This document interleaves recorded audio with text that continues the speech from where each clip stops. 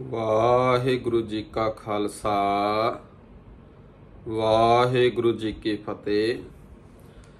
ਦਾਸ ਪਰਮਜੀਤ ਸਿੰਘ ਭੱਟੀ, ਪਿੰਡ ਡਸਕਾ, ਜ਼ਿਲ੍ਹਾ ਸੰਗਰੂਰ, ਤਹਿਸੀਲ ਲਹਿਰਾ ਹਰ ਐਤਵਾਰ ਨੂੰ ਪਿੰਡ ਡਸਕੇ ਦੇ ਵਿੱਚ ਆਪਾਂ ਮਰੀਜ਼ਾਂ ਨੂੰ ਮਿਲਦੇ ਆਂ, ਜਿਹੜੇ ਛੋਟੀਆਂ ਤੋਂ ਲੈ ਕੇ ਵੱਡੀਆਂ ਬਿਮਾਰੀਆਂ ਦੇ ਨਾਲ ਕਈ ਕਈ ਸਾਲਾਂ ਤੋਂ ਜੂਝ ਰਹੇ ਆ, ਠੀਕ ਨਹੀਂ ਹੋ ਰਹੇ। ਦਵਾਈਆਂ ਖਾ ਕੇ, ਅੱਕ ਥੱਕ ਚੁੱਕੇ ਐ। ਠੀਕ ਹੀ ਨਹੀਂ ਹੋ ਰਹੇ, ਹੋਰ ਸਰੀਰ ਨੂੰ ਖਰਾਬ ਕਰ ਰਹੇ ਐ। ਉਹ ਹਰ ਐਤਵਾਰ ਨੂੰ ਪਿੰਡ ਡਸਕੇ ਦੇ ਵਿੱਚ ਮੈਨੂੰ ਮਿਲ ਕੇ ਆਪਣੀ ਨਵਜ ਦਿਖਾ ਕੇ ਦੇਸੀ ਜੜੀ ਬੂਟੀਆਂ ਭਸਮਾਂ ਨਾਲ ਬਣੀਆਂ ਹੋਈਆਂ ਦਵਾਈਆਂ ਦੇ ਨਾਲ ਆਪਣੇ ਰੋਗਾਂ ਦਾ ਗਰੰਟੀ ਨਾਲ ਇਲਾਜ ਕਰਵਾ ਸਕਦੇ ਹਾਂ। ਹਰ ਐਤਵਾਰ ਨੂੰ ਸਵੇਰੇ 7 ਵਜੇ ਤੋਂ ਲੈ ਕੇ ਸ਼ਾਮ ਦੇ 7 ਵਜੇ ਤੱਕ ਆਪਾਂ ਮਰੀਜ਼ਾਂ ਨੂੰ ਮਿਲਦੇ ਹਾਂ। ਜਿਹੜਾ ਇਹ ਡਸਕਾ ਪਿੰਡ ਹੈ, ਇਹ ਸੰਗਰੂਰ ਜ਼ਿਲ੍ਹੇ ਦਾ ਪਿੰਡ ਹੈ। ਤਹਿਸੀਲ ਹੈ ਜਿਹੜੀ, ਉਹ ਲਹਿਰਾ ਗੱਗ ਹੈ। ਨੇੜੇ ਸ਼ਹਿਰ ਬੁਢਲਾਡਾ ਵੀ ਹੈ, ਨੇੜੇ ਸ਼ਹਿਰ ਬਰੇਟਾ ਵੀ ਹੈ, ਨੇੜੇ ਸ਼ਹਿਰ ਸੁਨਾਮ ਵੀ ਹੈ ਤੇ ਨੇੜੇ ਸ਼ਹਿਰ ਲਹਿਰਾ ਗਾਗਾ ਵੀ ਹੈ। ਤੁਸੀਂ ਆਪਣੇ ਇਲਾਕੇ ਦੇ ਹਿਸਾਬ ਨਾਲ ਜਿਹੜਾ ਤੁਹਾਨੂੰ ਨੇੜੇ ਲੱਗਦਾ ਉਧਰ ਦੀ ਆ ਸਕਦੇ ਹੋ।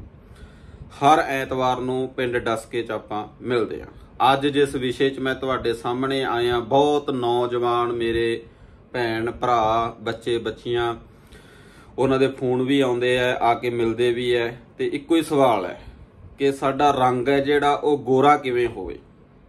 ਬਹੁਤ ਸਵਾਲ ਆਉਂਦੇ ਆ। ਤਾਂ ਉਹਦੇ ਵਾਸਤੇ ਨੁਕਸਾ ਦੱਸੋ ਜੀ, ਜਿਹਦੇ ਨਾਲ ਸਾਡਾ ਰੰਗ ਨਿਖਰ ਜਾਵੇ, ਰੰਗ ਸੋਹਣਾ ਲੱਗੇ, ਰੰਗ ਗੋਰਾ ਹੋ ਜੇ, ਇਹਦੇ ਵਾਸਤੇ। ਤਾਂ ਕੁਦਰਤ ਦੇ ਵਿੱਚ ਬਹੁਤ ਅਨਮੋਲ ਜੜੀ ਬੂਟੀਆਂ ਹਨ, ਜਿਨ੍ਹਾਂ ਦੇ ਨਾਲ ਤੁਸੀਂ ਖੂਬਸੂਰਤ ਬਣ ਸਕਦੇ ਹੋ, ਆਪਣੇ ਰੰਗ ਨੂੰ ਗੋਰਾ ਕਰ ਸਕਦੇ ਹੋ। ਸਾਂ, ਉਹਦੇ ਵਾਸਤੇ ਮੈਂ ਨੁਕਤਾ ਤੁਹਾਡੀ ਝੋਲੀ ਦੇ ਵਿੱਚ ਪਾਉਣ ਲੱਗਿਆ ਔਰ ਮੈਂ ਦਾਵਾ ਕਰਦਾ, ਸ਼ਟਾਮ ਤੇ ਲਿਖ ਕੇ ਗਰੰਟੀ ਦੇਣ ਨੂੰ ਤਿਆਰ ਹਾਂ ਤੁਹਾਨੂੰ। ਇਸ ਨੁਕਤੇ ਨੂੰ 3 ਮਹੀਨੇ ਵਰਤ ਲਓ। ਤੁਹਾਨੂੰ ਜਿੰਨਾ ਮਰਜ਼ੀ ਰੰਗ ਤੁਹਾਡਾ ਕਾਲਾ, ਗੋਰਾ ਹੋ ਜਾਏਗਾ। ਜਿੰਨਾ ਮਰਜ਼ੀ ਰੰਗ ਹੈ ਜਿਹੜਾ ਉਹ ਕਾਲਾ ਪੈਣ ਲੱਗ ਗਿਆ ਜਿਆਦੇ ਚਿਹਰੇ ਦੇ ਉੱਤੇ ਝੁਰੜੀਆਂ ਪੈਣ ਲੱਗ ਗਈਆਂ, ਜਿਆਦੇ ਫਿਨਸੀਆਂ ਹੋਣ ਲੱਗ ਗਈਆਂ ਇਦਾਂ ਦੀ ਦਿੱਕਤਾਂ ਆਉਣ ਲੱਗੀ ਫੇਸ ਦੇ ਉੱਤੇ। ਤਾਂ ਉਹਦੇ ਵਾਸਤੇ ਗਰੰਟੀ ਸ਼ੁਦਾ ਨੁਕਸਾ ਹੈ, ਝੋਲੀ ਦੇ ਵਿੱਚ ਤੁਹਾਡੇ ਪਾਣ ਲੱਗਿਆ। ਨੋਟ ਕਰ ਲਓ, ਜਿਹੜੇ ਨਹੀਂ ਬਣਾ ਸਕਦੇ, ਉਹ ਹਰ ਐਤਵਾਰ ਨੂੰ ਬਣੀ ਬਣਾਈ ਦਵਾਈ ਵੀ ਲਿਜਾ ਸਕਦੇ ਹੋ। ਸੋ ਇਹਦੇ ਵਿੱਚ ਦੋ ਚੀਜ਼ਾਂ ਹੁੰਦੀਆਂ, ਇੱਕ ਖਾਣ ਵਾਲੀ ਦਵਾਈ, ਇੱਕ ਲਾਉਣ ਵਾਲੀ। ਉਹ ਤੁਸੀਂ ਪਹਿਲੇ ਖਾਣ ਵਾਲੀ ਨੋਟ ਕਰ ਲਓ। ਇਹਦੇ ਵਿੱਚ ਬਾਵਚੀ ਬੀਜ ਲੈਣੇ ਆ ਸ਼ੁੱਧ ਕੀਤੇ ਹੋਏ 50 ਗ੍ਰਾਮ ਪਨਵਾੜ ਹੈ ਜਿਹੜਾ ਉਹ ਲੈਣਾ 50 ਗ੍ਰਾਮ ਤ੍ਰਿਫਲ ਹੈ ਜਿਹੜਾ ਉਹ ਲੈਣਾ 50 ਗ੍ਰਾਮ ਖਾਦਰੇ ਹੈ ਜਿਹੜਾ ਉਹ ਲੈਣਾ 50 ਗ੍ਰਾਮ ਮਜੀਠ 50 ਗ੍ਰਾਮ ਕੁਟਕੀ ਹੈ ਜਿਹੜੀ 50 ਗ੍ਰਾਮ ਗਲੋਏ 50 ਗ੍ਰਾਮ ਚੰਦਨ 50 ਗ੍ਰਾਮ ਤੇ ਦੇਵਦਾਰੂ ਹੈ ਜਿਹੜਾ ਇਹ 50 ਗ੍ਰਾਮ ਬਦਾਮਗਿਰੀ 50 ਗ੍ਰਾਮ ਕਾਜੂਗਿਰੀ 50 ਗ੍ਰਾਮ ਪਿਸਤਾ 50 ਗ੍ਰਾਮ ਤੇ ਕੁਸਤਾ ਕਲੀ ਹੈ ਜਿਹੜਾ ਇਹ 50 ਗ੍ਰਾਮ, ਸਾਲਮ ਪੰਜਾ 50 ਗ੍ਰਾਮ, ਸਾਲਮ ਮਿਸ਼ਰੀ 50 ਗ੍ਰਾਮ, ਸ਼ਤਾਵਰ 50 ਗ੍ਰਾਮ, ਮੁਸਲੀ ਸਫੇਦ 50 ਗ੍ਰਾਮ, ਮੁਸਲੀ ਕਾਲੀ 50 ਗ੍ਰਾਮ, ਕਰੰਜ ਬੀਜ 50 ਗ੍ਰਾਮ ਤੇ ਮੋਤੀ ਪਸਮ 5 ਗ੍ਰਾਮ। ਇਹ ਸਾਰੀਆਂ ਚੀਜ਼ਾਂ ਨੂੰ ਲੈ ਕੇ ਬਰੀਕ ਪੀਸਣ ਵਾਲੀਆਂ ਨੂੰ ਪੀਸ ਕੇ ਇੱਕ ਆਪਸ ਦੇ ਵਿੱਚ ਚੰਗੀ ਤਰ੍ਹਾਂ ਮਿਕਸ ਕਰਕੇ ਮਿਲਾ ਕੇ ਇੱਕ ਡੱਬੇ 'ਚ ਪਲਾ ਕੇ ਰੱਖ ਲੈਣਾ ਇੱਕ ਚਮਚ ਦਵਾਈ, ਇੱਕ ਗਲਾਸ ਦੁੱਧ ਦੇ ਨਾਲ ਸਵੇਰੇ ਲੈਣੀ ਹੈ ਰੋਟੀ ਖਾਣ ਤੋਂ ਬਾਅਦ। ਤੇ ਰਾਤ ਨੂੰ ਸੌਣ ਲੱਗਿਆ, ਇੱਕ ਚਮਚ ਦਵਾਈ, ਇੱਕ ਗਲਾਸ ਦੁੱਧ ਦੇ ਨਾਲ ਲੈਣੀ। ਦੂਸਰੇ ਨੰਬਰ ਤੇ ਹੈਗੀ ਹੈ ਲਗਾਉਣ ਵਾਲੀ, ਇਹ ਦੋ ਟਾਈਮ ਲਗਾਉਣੀ ਹੈ, ਸਵੇਰੇ ਵੀ, ਸ਼ਾਮ ਨੂੰ ਵੀ।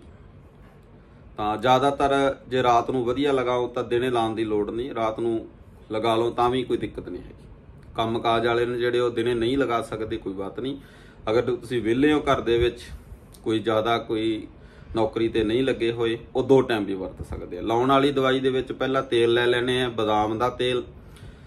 50-50 ਗ੍ਰਾਮ ਹੀ ਲੈ ਲਓ, ਬਦਾਮ ਦਾ ਤੇਲ, ਅਖਰੋਟ ਦਾ ਤੇਲ, ਤਿਲਾਂ ਦਾ ਤੇਲ, ਚਮੇਲੀ ਦਾ ਤੇਲ, ਸੂਰਜਮੁਖੀ ਦਾ ਤੇਲ ਤੇ ਚੰਦਨ ਦਾ ਤੇਲ, ਇਸੇ ਤਰ੍ਹਾਂ ਹੀ ਨਿੰਬੂ ਦਾ ਨਿੰਮ ਦਾ ਤੇਲ ਤੇ ਇਸੇ ਤਰ੍ਹਾਂ ਹੀ ਜੈਤੂਨ ਦਾ ਤੇਲ ਤੇ, ਤੁਲਸੀ ਦਾ ਤੇਲ ਤੇ ਨਿੰਮ ਦਾ ਤੇਲ, ਤੁਲਸੀ ਦਾ ਤੇਲ, ਜੈਤੂਨ ਦਾ ਤੇਲ ਤੇ ਅਲਸੀ ਦਾ ਤੇਲ।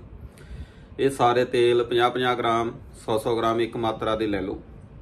ਇਹਨਾਂ ਨੂੰ ਆਪਸ ਦੇ ਵਿੱਚ ਮਿਲਾ ਕੇ ਇੱਕ ਵਾਰੀ ਗਰਮ ਕਰ ਲਓ। ਚੰਗੀ ਤਰ੍ਹਾਂ ਉਦੋਂ ਬਾਅਦ ਥੱਲੇ ਉਤਾਰ ਕੇ ਇਹਦੇ ਵਿੱਚ ਕੁਝ ਜੜੀ ਬੂਟੀਆਂ ਪਾਉਣੀਆਂ ਨੇ।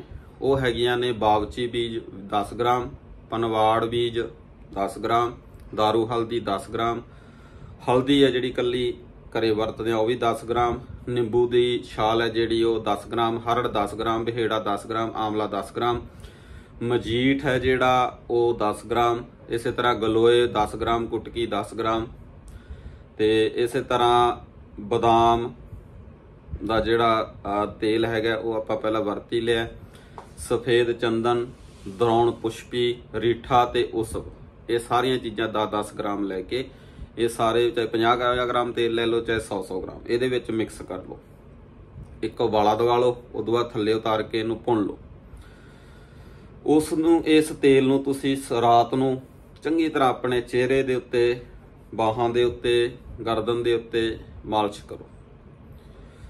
ਇਹਦੇ ਨਾਲ ਦੋ ਟਾਈਮ ਮਾਲਿਸ਼ ਕਰਨੀ ਹੈ ਸਵੇਰੇ ਤੇ ਸ਼ਾਮ। ਜਿਹੜੇ ਕੋਈ ਸਵੇਰੇ ਨੌਕਰੀ ਜਾਂਦੇ ਆ, ਉਹ ਸਿਰਫ ਰਾਤ ਨੂੰ ਵਰਤ ਸਕਦੇ ਤਾਂ ਮੈਂ ਦਾਅਵੇ ਨਾਲ ਸਟਾਂਪ ਪੇਪਰ ਤੇ ਗਰੰਟੀ ਲਿਖ ਕੇ ਦੇਣ ਨੂੰ ਤਿਆਰ ਹਾਂ। ਤੁਸੀਂ 3 ਮਹੀਨੇ ਇਸ ਨੁਕਤੇ ਨੂੰ ਖਾਣ ਵਾਲੇ ਨੂੰ ਤੇ ਲਾਣ ਵਾਲੇ ਨੂੰ ਵਰਤ ਲਓ।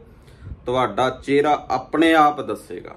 ਐਨ ਲਿਸ਼ਕਾ ਮਾਰੇਗਾ, ਐਨ ਜਮਾ ਵੱਖਰਾ ਨੂਰ ਦਿਸੇਗਾ, ਵੱਖਰੀ ਚਮਕ ਚਿਹਰੇ ਦੀ ਤੁਹਾਨੂੰ ਦਿਸੇਗੀ, ਇਹਦਾ ਰੰਗ ਪੂਰਾ ਵਧੀਆ ਗੋਰਾ ਦਿਸੇਗਾ, ਤੇ ਚਮੜੀ ਦਾ ਕੋਈ ਰੋਗ ਵੀ ਨਹੀਂ ਆਂਦਾ ਚਾਹੇ ਉਹ ਫਿਨਸੀਆਂ ਨੇ, ਚਾਹੇ ਉਹ ਰਿੰਕਲ ਨੇ, ਚਾਹੇ ਉਹ ਛਾਈਆਂ ਨੇ, ਚਾਹੇ ਉਹ ਪਿੰਪਲ ਨੇ, ਇੱਕ ਵੀ ਚਮੜੀ ਦਾ ਰੋਗ ਨਹੀਂ ਆਉਂਦਾ, ਐ ਸਕਿਨ ਕੱਸੀ ਜਾਊਗੀ ਔਰ ਇਹ ਜਮਾ ਜਵਾਨ ਜਵਾਨ ਚਿਹਰਾ ਲੱਗੇਗਾ। ਤਾਂ ਤੁਸੀਂ ਇਸ ਦਵਾਈ ਨੂੰ ਵਰਤੋ, ਅੱਗੇ ਹੋਰਾਂ ਨੂੰ ਸੈਂਡ ਕਰਿਆ ਕਰੋ। ਬਾਕੀ ਜਿਹੜੇ ਨਹੀਂ ਦਵਾਈ ਬਣਾ ਸਕਦੇ ਉਹ ਐਤਵਾਰ ਨੂੰ ਪਿੰਡ ਡਸਕੇ ਜਾ ਕੇ ਮੈਨੂੰ ਮਿਲ ਕੇ ਆਪ ਦਵਾਈ ਲਿਜਾ ਸਕਦੇ। ਤੁਹਾਡਾ ਸਭ ਦਾ ਧੰਨਵਾਦ, ਜਿੰਨੇ ਵੀ ਸਾਡੇ ਨਾਲ ਜੁੜੇ ਹੋਏ ਹੋ। ਆਪਾਂ ਹਰ ਐਤਵਾਰ ਨੂੰ ਪਿੰਡ ਡਸਕੇ ਦੇ ਵਿੱਚ ਮਿਲਦੇ ਆ ਇੱਥੇ ਹਰ ਇੱਕ ਬਿਮਾਰੀ ਦਾ ਇਲਾਜ ਗਰੰਟੀ ਦੇ ਨਾਲ ਕੀਤਾ ਜਾਂਦਾ ਸਰੀਰ ਦਾ ਕੋਈ ਵੀ ਰੋਗ ਹੈ, ਉਹਦਾ ਗਰੰਟੀ ਦੇ ਨਾਲ ਨਬਜ ਦੇਖ ਕੇ ਦੇਸੀ ਜੜੀ ਬੂਟੀਆਂ ਦੀ ਦਵਾਈਆਂ ਦੇ ਨਾਲ ਕੀਤਾ ਜਾਂਦਾ ਤੁਹਾਡਾ ਸਭ ਦਾ ਧੰਨਵਾਦ, ਜਿੰਨੇ ਵੀ ਜੁੜੇ ਹੋਏ। ਵਾਹਿਗੁਰੂ ਜੀ ਕਾ ਖਾਲਸਾ ਵਾਹਿਗੁਰੂ ਜੀ ਕੀ ਫਤਿਹ।